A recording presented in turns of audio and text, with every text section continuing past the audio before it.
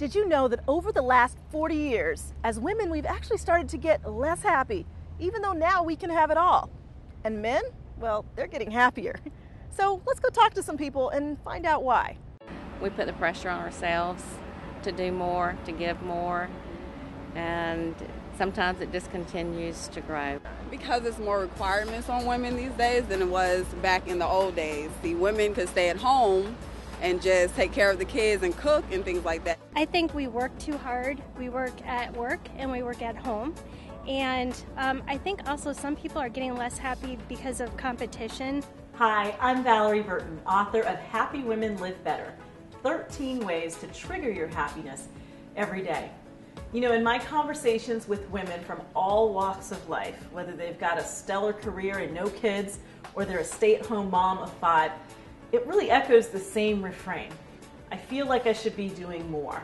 Um, somehow I feel like I'm missing out. I feel like I need to catch up.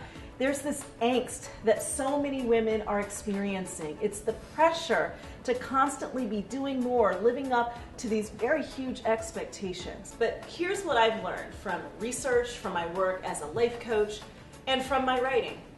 Happy women learn how to be happy not just when they get what they want, but they learn how to be happy while they're waiting for what they want. So, what triggers your happiness? When I have a job to go to and I have something that I'm looking forward to for the future and I'm helping people. The biggest things for me internally is to work out and to spend time with my family. It makes me very happy. My job makes me happy. I'm an English teacher, and just being with the kids every day is a joy, usually. Happiness is really not just about your circumstances. Happiness is about the intentional choices that you make every single day. And that's why I've created these 13 research based happiness triggers.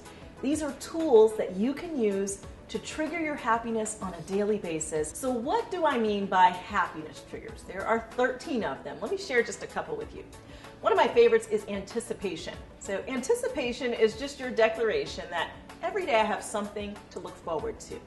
When we have something to look forward to, it boosts our positive emotions. This is so huge in our culture today. It's connection.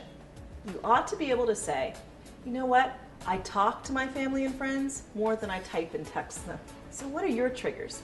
Go out to happywomantest.com and you can find out your personal triggers and your power triggers for free. I want to help you be happier and have more fun even when life seems routine.